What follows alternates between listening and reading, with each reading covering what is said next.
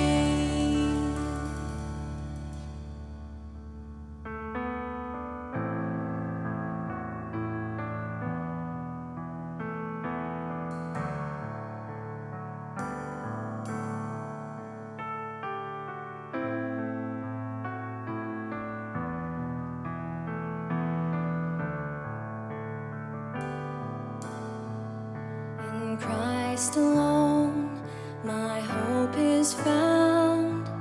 He is my light, my strength, my song. This cornerstone, this solid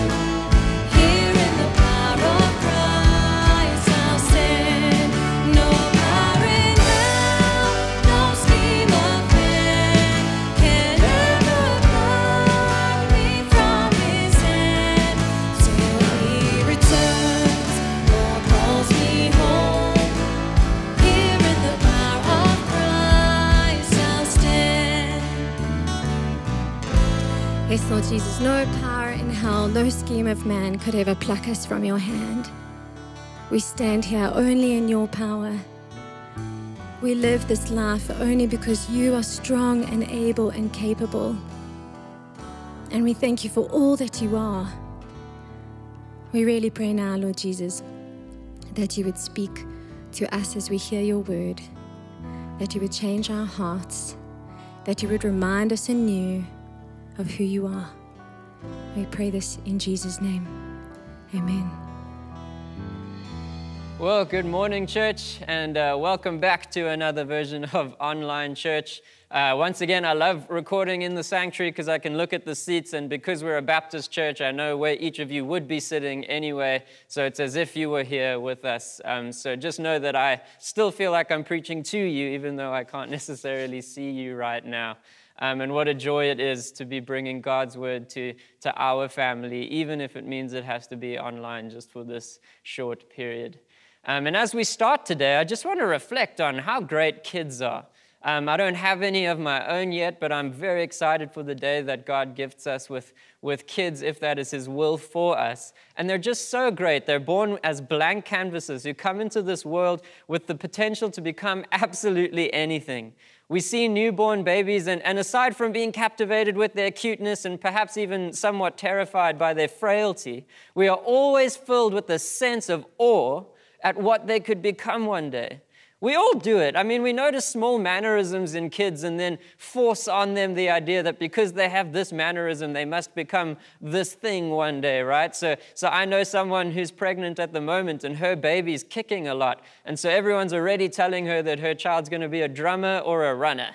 um, I also know a young man who says some very strange things that always make us laugh. And so we're convinced that he's going to become a comedian. Uh, we have children who will play with a stethoscope that we bought for them, and then we'll somehow say, oh, they're probably going to be a doctor, even though we're the ones who put the stethoscope in their hands.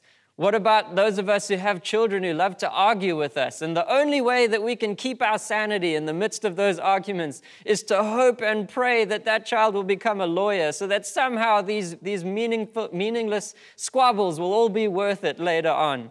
Um, and despite the endless possibilities of what our, our, incredible children will become one day, and the, the joyful ignorance that we have about God's ordained future for, it, for, for them, there is one thing that I know for a fact every single child will become. Without doubt, every single child will become a mirror to its parents. Every single child will become a mirror to its parents. You see, children become mirrors to our own sinfulness and our own brokenness and our own hypocrisy. If you don't believe that something that you do is a sin, I guarantee you when your child does it back to you, you will immediately acknowledge that it was sinful. And this happens in many ways, some of them hilarious. You see, I always used to make fun of my mom. Like she would come home and I would click at her as a joke and say, Make me some tea or, or go and make me food. And then my dad would try and yell at me. And as he's yelling at me, my small, gentle voice would say, But dad, you made that joke yesterday. and so he can't be frustrated with me because I'm just copying what he does. Or, or maybe, and I saw this happen very recently, I'm not going to mention any names, but there was a young man who had eaten a chocolate that he wasn't supposed to and was getting shouted at by his mom. And then he reminded his mom of how she, last week, had eaten a chocolate she wasn't supposed to, and then told, her dad, uh, told the kid's dad that she didn't know where the chocolate was.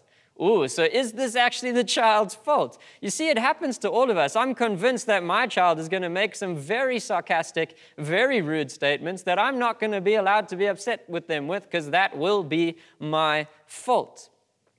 But when it's not hilarious, it really should be a humbling and sobering experience, which God uses powerfully to convict us of our sinfulness and our brokenness and calling us into repentance. You see, if you have a, a male child in your house who, who lazes around on the couch all day, barking orders to his mother, not helping clean up, not helping with the dishes, not helping with anything, you see, we as dads would need to look at ourselves and wonder where they learned that from.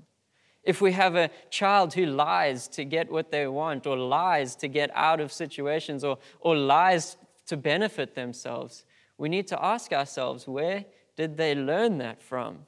If we have a child who struggles with anger issues, we need to stop and ask Is this child living in a home where anger is modeled as the most effective way to communicate or express ourselves? Children are models, they are mirrors which reflect back to us our very sinfulness and our very brokenness. And, and I believe that we need to look at today's scripture kind of as a child a child that's going to mirror back to us our own sinfulness and our own brokenness, a child that's going to mirror back to us our fallenness and our brokenness, calling us, hopefully, into sobering repentance before the Lord, saying, God, thank you so much for mirroring to me, for revealing to me where I'm falling short of your glory, and committing to move forward in a way that follows in Jesus' footsteps down the narrow path. And I pray that we will see that this morning. So if you if you have your Bibles with you, if you have your phones with you, open to Acts chapter 23. We're going to be reading verses 1 to 11 today. And as you open up, I'm just going to summarize where we find ourselves in the book of Acts. You see, Paul has now completed his three great missionary journeys and aware of the persecution, pain, and potential death that's awaiting him, he returns to Jerusalem where the prophecies and warnings of, of, of his friends and his companions and of the Holy Spirit does not waste any time coming to fruition. See, as Paul enters into Jerusalem, he's met by a horde of angry Jews who attack him savagely and beat him, accusing him of heresy and accusing him of bringing a Gentile into a temple, which would have been an absolute scandal in Paul's day. You see, this beating becomes so severe that the Roman army has to come in, the Roman tribunal has to come in and rescue Paul from his own people. And Paul is then thrown in jail for his protection. How crazy is that? The safest place for Paul is in a Roman jail so that his very own people don't kill him. Wow, that must be a very painful and terrible experience for Paul. But now, obviously, the Romans want to figure out what's going on because they want to bring peace back to, their, back to their land. And so, what they decide is we're going to scourge Paul, which is when you take a whip and you whip him, and then there's little pieces of bone in the whip that grab onto the skin, and they were going, like, scourging's hectic. And so, they say, in order to get the truth from what's happening here, we need to scourge Paul. But as they're about to do that, Paul reminds them that he is a Roman citizen, which means that it's actually unlawful for him to be scourged without a trial. In fact, it even means that the fact that they put him in jail without a trial was unlawful. So now these Roman, these Roman soldiers are, are in a bit of trouble. They're in a, in a sticky situation. And so they decide, let us go and let's convene a meeting of the Sanhedrin with the Jews. I'm going to release Paul to the Jews, and they need to figure this out. And that is where we pick up in Acts chapter 23. So let's read the word of the Lord together. And looking intently at the council, this is the Sanhedrin, Paul said, Brothers, I have lived my life before God in all good conscience up to this day. And the high priest Ananias commanded those who stood by him to strike him on the mouth. Then Paul said to him, God is going to strike you, you whitewashed wall. Are you sitting to judge me according to the law, and yet contrary to the law, you order me to be struck? Those who stood by said, Would you revile God's high priest? And Paul said, I did not know, brothers, that he was the high priest, for it is written, You shall not speak evil of a ruler of your people. Now, when Paul perceived that one part were Sadducees and the other Pharisees, he cried out in the council, Brothers, I am a Pharisee, a son of Pharisees. It is with respect to the hope and the resurrection of the dead that I am on trial. And when he had said this, a dissension arose between the Pharisees and the Sadducees, and the assembly was divided. For the Sadducees say that there is no resurrection, nor angel, nor spirit, but the Pharisees acknowledge them all. Then a great clamor arose, and some of the scribes of the, uh, some of the scribes of the Pharisee party stood up and contended sharply, We find nothing wrong in this man. What if a spirit or an angel spoke to him? And when the dissension became violent, the tribune, the Roman tribune, afraid that Paul would be torn to pieces by them, commanded the soldiers to go down and take him away from among them by force and bring him into the barracks.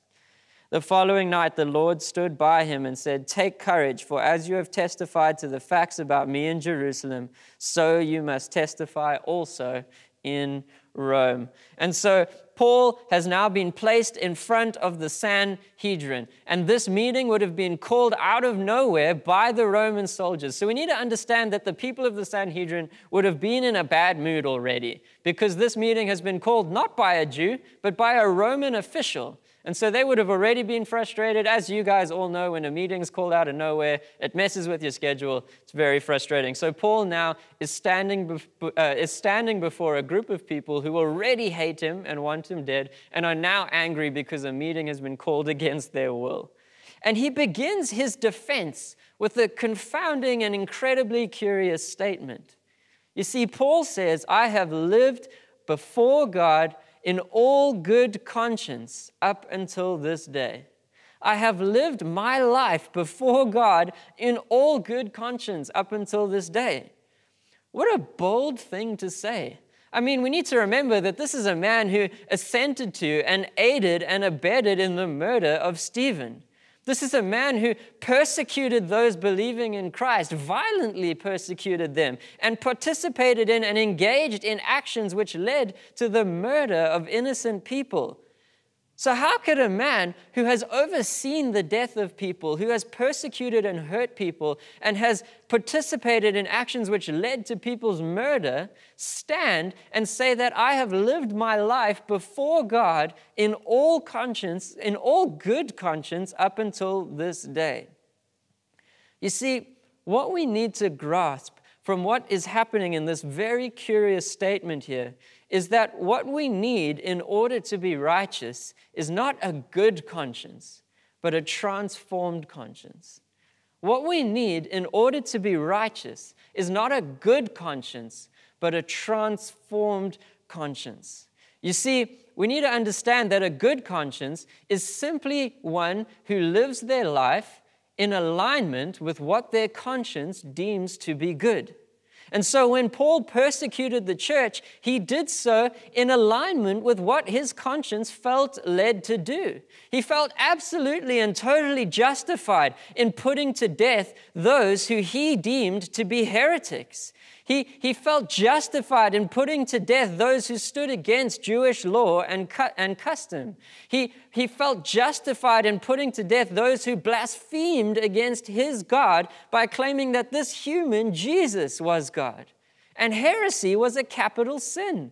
And thus, Paul would have felt clear and good in his conscience to punish those who engaged in blasphemy. Can you think of a time where you felt totally and absolutely justified in doing something.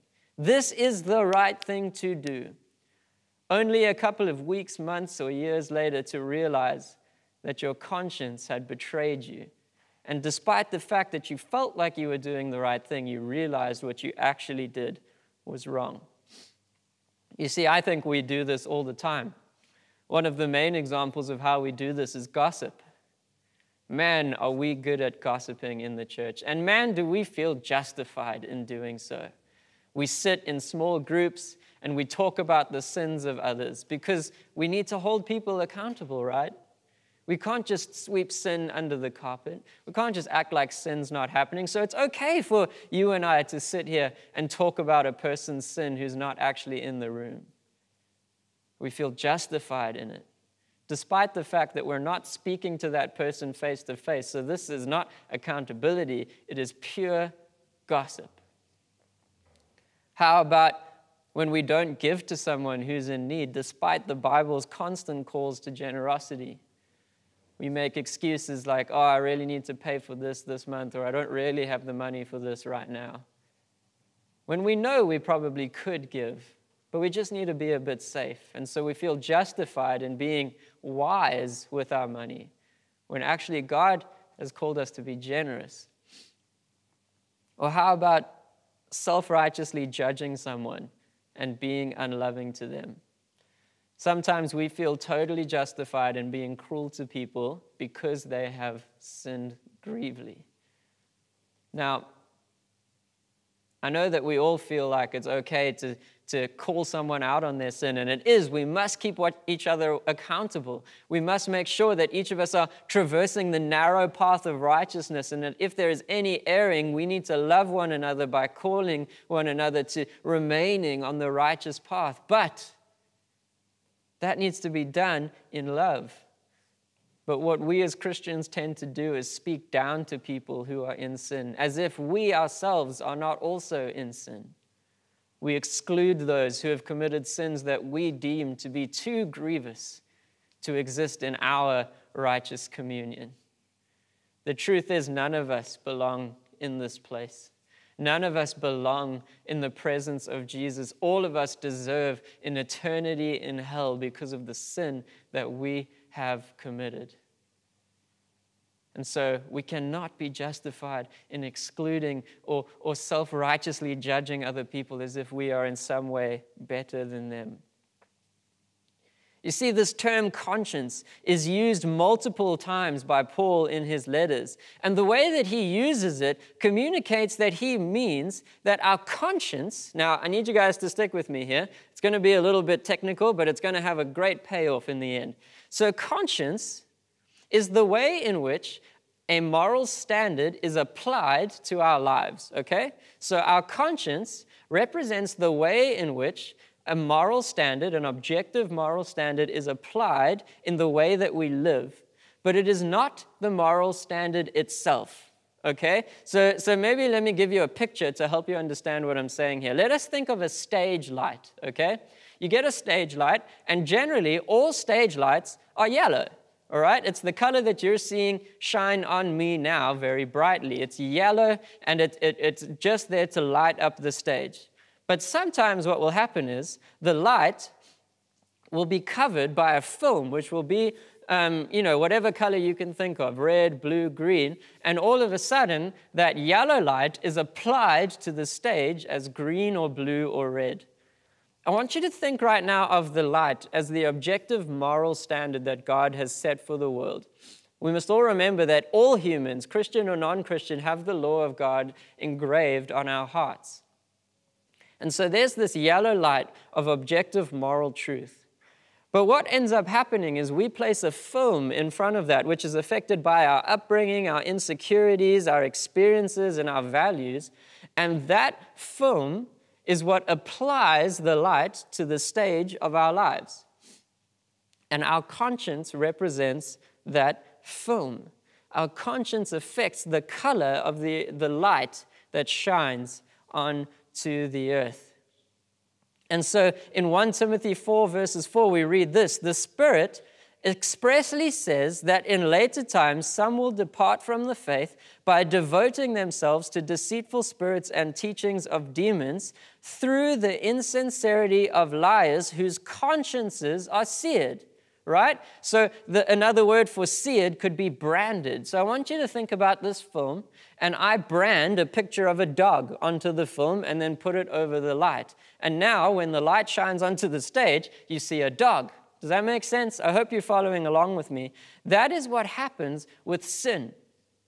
Sin brands our conscience, and sin colors our conscience and distorts and changes the beautiful, bright light of Jesus to be something that is completely different.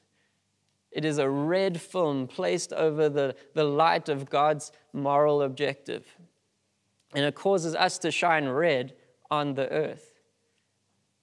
You see, if we are to be holy and righteous, our seared conscience needs to be replaced with a brand new conscience, which is clear and simply allows the light of Christ to shine in unobstructed glory through us onto the stage of life. What we need is just a clear, transparent, see through piece of paper placed in front of this light so that what people see is merely the yellow, glorious, transcendent, beautiful light of God that is not colored by anything other than its pure majesty and glory. And so when Paul met Jesus face to face and saw his glory, his beauty, and his transcendent majesty, the scales were removed from his eyes. The film was removed from his conscience, and he was given a new heart and a new spirit, which also transformed and renewed his conscience so that his life would now be orientated around coloring the world with the true color of Christ. We read in Ezekiel 36, verse 26 I will give you a new heart and a new spirit, and I will put within you, I will remove the heart of stone from your flesh and give you a heart of flesh. You see, we have been given a brand new heart with brand new desires, and along with that brand new heart, we've been given a transformed conscience. You see, we do not just need good consciences. Because living in alignment with our conscience, while that might be a good thing to do, is still evil if you have an evil conscience. And so we need to be trusting in Christ to transform us, renew us, and change us. And this is why this statement angers Ananias so much. So we read that after Paul says he's lived in good conscience, Ananias has him struck. And by struck, the Greek word actually means like punched in the face really hard. Why is Ananias so upset here? Well, you see, Paul used to be one of them, right? Paul used to be a Pharisee. Paul used to be a walking and living validation of the Pharisaical structure. Paul believed that priests, teachers, and scribes like Ananias had all the power in Jewish community and were the ultimate gauge of what is right and what is wrong and could exert judgment over all Jews with impunity. You see, Paul validated the Pharisaical structure, which saw the sick and the lowly as sinful, unworthy, unclean, and, and, and worthy of dishonor, and priests as being perfect and beautiful and, and, and righteous, who should be getting all of the power because of their external righteousness. However, his new consciousness undermines all of that. His new consciousness sees him believing that the law is powerless to save, and that observing the law does not save someone for, for sin, or uh, does not save someone from sin or qualify them for honor. His new con- consciousness sees the Pharisees as whitewashed tombs. His new consciousness sees Jesus as the ultimate high priest who made a way for all people who put their faith in Christ to be priests who have direct access to the presence of God through the indwelling of the Holy Spirit. Whether they are born Jews or born Gentiles, Christ unites all of us under his banner, giving us direct access to his presence, calling us his people, one people under one God, united by one Spirit for one mission, which is to glorify and make much of Him in every way. And this is an absolute affront to Ananias and all that he benefits from. Ananias was described by Josephus, who was the famous Jewish historian, as one of the most corrupt and vile high priests in history. And the reason why he could remain a high priest whilst being corrupt and vile is because he was able to cover up his corruption with the veneer of external goodness. See, I want to ask you guys has your transformation since you came to meet Jesus sometimes gotten you in trouble with the people who you once spent your time with? You see, because we are new people, it doesn't mean we stop spending time with the people who we knew before we got saved, but it must mean that we cannot see eye to eye on everything that we used to. I want to ask you are you standing for Christ in a way that might anger the people who you used to connect with before you got saved? Has your transformation in Christ placed you in positions where people you knew before and agreed with before would be frustrated and confounded by your newfound commitment to Christ? Our transformation must be an affront to those who do not yet know Jesus. Our new moral standard must be an affront to people who don't know Jesus. It must be because we are different from the world and we must sometimes come up against the world as we stand for the righteousness of Christ. Once this is done, we see Paul confront Ananias for his hypocrisy. You see, follow, following being struck on the mouth or punched in the mouth, Paul responds with a sharp and terrifying accusation. He calls Ananias a whitewashed wall. You see, the only things that were whitewashed in this time and in this Jewish culture were tombs. You see, this harkens back to Jesus' claim in Matthew 23, verse 27, where he refers to the Pharisees as whitewashed tombs, which are beautiful and presentable and clean and wonderful on the outside, but are filled with dead man's bones on the inside. Filled with dead man's bones on the inside. You see, Ananias was respected as the high priest because of his external good works. He observed the law, he did everything that the Jewish law told him to do. And so as a result, people were like, man, this guy is perfect. But the truth is, when he had Paul struck, which was against the law, it revealed that his heart was corrupt. It revealed that he indeed was a tomb carrying around dead man's bones. It revealed that his heart was filled with rage and jealousy and insecurity a heart more concerned with power than integrity. a heart more concerned for external good works and human fame than true and genuine relationship with Jesus Christ, a heart more concerned with personal glory than glory to the God who is worthy of it. And then it's brought to Paul's attention hey, why would you speak to the high priest like that? Would you, would you revile the high priest? You see, what would be happening here is that because this meeting was called impromptu and because they weren't given time to prepare for it, and because it wasn't an official meeting of the Sanhedrin, the priest would not have been wearing his official priestly garments. And because Paul hadn't been in Jerusalem for over 20 years at this point, he wouldn't have known who the high priest was. And so Paul does not know that the person who he's saying this to is the high priest. And so he apologizes. He apologizes. He says, I did not know, brothers, that he was the high priest, for it is written, You shall not speak evil of a ruler of your people. And so Paul shows humility in apologizing for, for disrespecting the position of Ananias. But there is a very interesting thing that's exposed here. Paul does not recognize Ananias because he's not wearing his uniform. Paul does not recognize Ananias as the high priest because Ananias is not wearing his uniform. And the truth is that Paul should have recognized Ananias as the high priest not by his uniform, but by his conduct. Not by his uniform, but by his conduct. And the truth is that we as Christians do have a uniform. Brothers and sisters, please hear me on this. You and I do have a uniform that we must wear every moment of every day.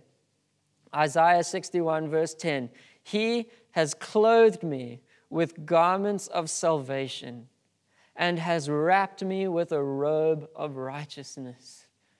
We do have a uniform, brothers and sisters, and this is a uniform that we are to adorn every moment of every day. We have been wrapped in righteousness. And I want to ask you do people in your life recognize you by the uniform that you wear? Do the people in your life know that you follow Christ without knowing that you attend church or call yourself a Christian? Do they recognize you because you wear your uniform of righteousness with pride? Are you living a life that is so characterized by righteous obedience, kindness, generosity, and love that those who encounter you will be left with no doubt that you have received the transformative power of the Holy Spirit? Are you dressing yourself in your uniform every day, the uniform of righteousness? This is how the world will know that we have been saved by Jesus Christ, not by wearing a cross around your neck, not by wearing a what would Jesus do bracelet, but by living righteously and living like Christ. You see, Paul shows that he is robed in righteousness by showing the humility and repentance needed and apologizing to Ananias, even though Ananias was wrong to have him struck. Paul exemplifies what someone who is alive in Christ looks like in contrast to someone who simply seeks to look externally beautiful whilst at the same time carrying around dead man's bones. Church, are you alive on the inside? Or are you simply trying to paint the wall of your soul's grave with futile good works? Are you alive on the inside? Or are you simply trying to paint the walls of your soul's grave with futile good works? Do you love Jesus? Do you desire for his name to be made famous in your life, even at your own expense? Do you desire to see his glory, even if it means you not being glorified? Even especially when it means you not being glorified? Are you captivated, captivated by his majesty? Or are there other things in the world which are more beautiful to you than Jesus? Are you in awe of his love and kindness to you? You see it as a heart that is captivated by the love of Jesus, captivated by his majesty and his glory, that desires for his name to be made famous. That is a heart of an alive Christian. If you come to church every week and serve faithfully every week and go to Bible studies, but on the inside there's no love for Christ and no desire for Him to be glorified, there is a chance that you might also be a whitewashed tomb in need of the Spirit of Jesus. And finally, Paul shows us that a house divided cannot stand. A house divided cannot stand. You see, Paul perceived that in this group of the Sanhedrin, there were some Sadducees and some Pharisees. And because he used to be a part of this group, he knew that the Sadducees did not believe in the resurrection, that they did not believe in angels or spirits. And he knew that the Pharisees did believe in the resurrections, that they did believe in angels and spirits, and that this was a huge source of contention within the Sanhedrin. And so Paul, with one statement, tears them apart. He says, I am actually on trial here because I believe in the resurrection. And now the Pharisees say this really funny thing. Remember, the, the Pharisees wanted him dead not so long ago? The Pharisees now say, Oh, I see no wrong with this man. I see no wrong with this man. Even though five minutes ago I wanted him dead, now I realized he agrees with me. And so, you know what? He's fine. Let's keep him alive. The fickleness of the human heart can always be revealed in the things that we hold dear to. You see, the Pharisees felt that their doctrinal beliefs were more important than their relationships with other people. They felt like their doctrinal beliefs were more important than justice. I mean, think about what Paul's being accused of here. Paul's being accused of heresy, capital sin, and he's being accused of bringing a Gentile into the temple. That would have been means to be put to death at this time. And, and that should have been what was the most important thing in this trial. But instead of focusing on justice, they're now focusing more on this petty doctrinal squabble between them. And Paul's able to expose that with one statement. The truth is, a house divided cannot stand. A house divided cannot stand.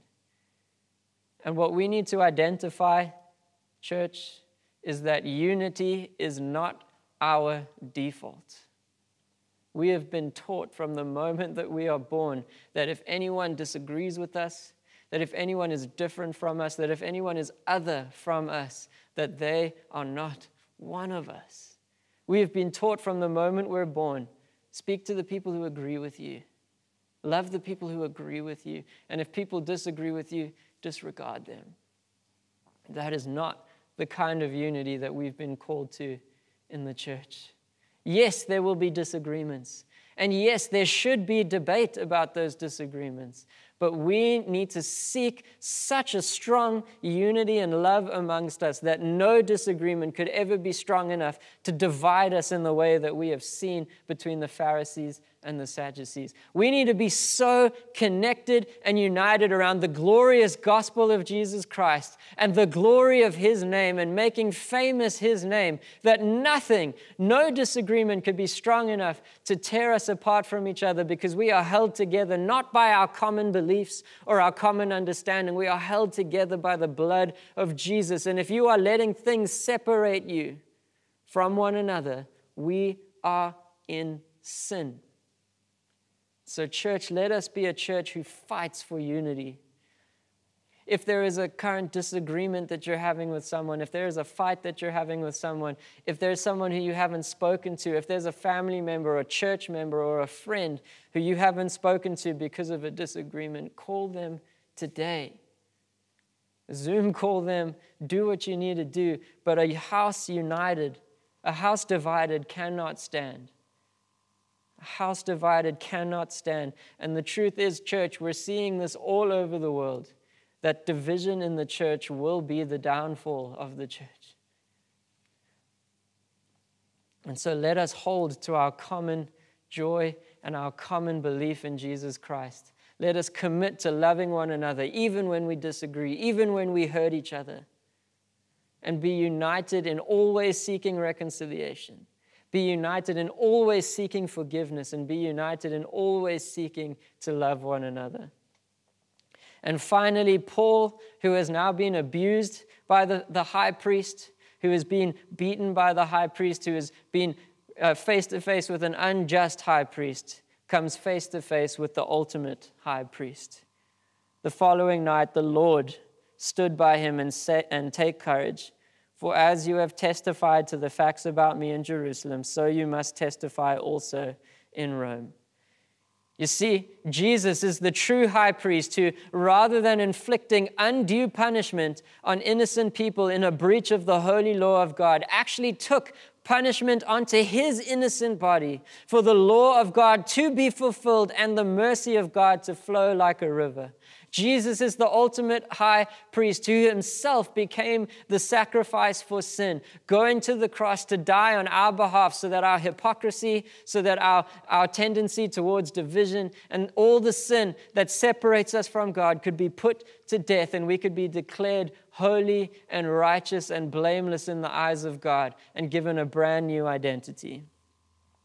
And Jesus then encourages him with his presence and his word. What's beautiful about our high priest is that we read in Hebrews 4, verse 15, that we have a high priest who is able to sympathize with our weaknesses, who has in every respect been tempted as we are, yet without sin. You see, Jesus was also on trial for something he did not do. Jesus was also an innocent man who was placed on trial. And unlike Paul, Jesus was ultimately crucified and killed. Jesus knows what Paul is going through. And Jesus knows, your high priest knows what you are going through. So, as we go into a time of praise and worship now, let us be face to face with our high priest who is perfectly just and perfectly merciful and who knows exactly what you're going through. Remember, Jesus has been rejected as well. Jesus has been hurt as well. Jesus also didn't have a home. Jesus also was, was rejected by his friends and betrayed by his friends. Jesus knows exactly what you are going through right now. And let's just revel in his presence, our great and wonderful high priest. Have a wonderful week. Love you guys.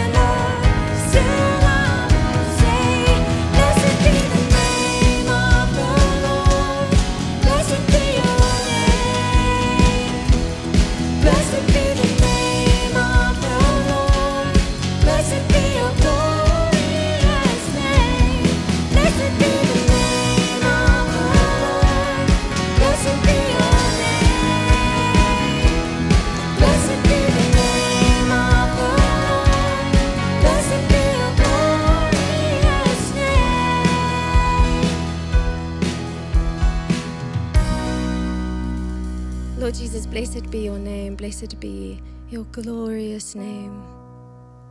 Help us, Lord Jesus, with this thing, this thing of, of remembering who you are in the good times and in the bad times.